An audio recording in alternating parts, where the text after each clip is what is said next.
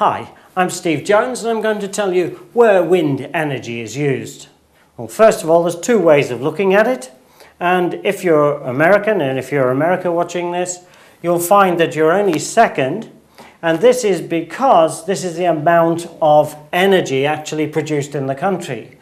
But the top energy user in terms of percentage of the energy produced altogether is actually Denmark. And uh, Europe is actually very high on the proportion of wind energy used. The biggest users, some of the biggest users, here we've got the United States second, fourth, India, and China fifth. Actually, the biggest producer of wind energy is Germany, but because the country is big, it's only a small proportion. So, Overall, you can see that wind energy depends obviously on the geography of the country. If you think of a country like Denmark, which is basically low, it doesn't have a lot of hills and mountains, it's got a long coastline, and around that coastline you get a lot of wind. So wind energy is very effective in Denmark. Also, there's not large distances to take the energy from the coast.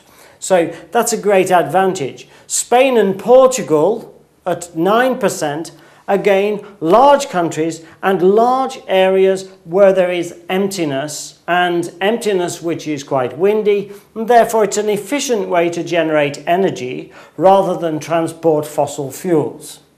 Germany, also a large country, very varied. The proportion is not so big because, of course, it has other resources. It's got rivers, it's got a huge amount of uh, resources like coal, and therefore it still has only 6%.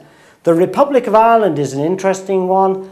Ireland is developing all the time, and obviously, the idea of developing uh, renewable energy in Ireland is a very good one.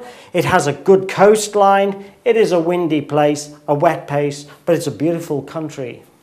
Okay, so basically that describes roughly where wind energy is used geographically and in what proportion.